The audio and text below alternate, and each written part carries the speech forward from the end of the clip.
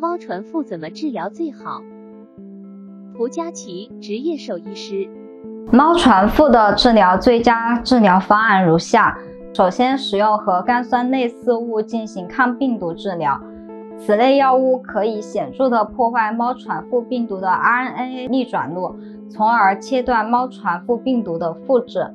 其次，猫传腹是由猫冠状病毒突变成猫传染性腹膜炎病毒，引起多个部位炎症后造成。治疗应着重消炎，推荐天然提取物消炎药，副作用小，效果好。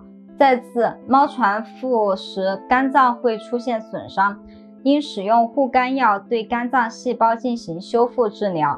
另外，猫传腹时可能会出现腹水、胸水等积液，白蛋白大量从积液中丢失，需要补充白蛋白以弥补体内白蛋白的丢失。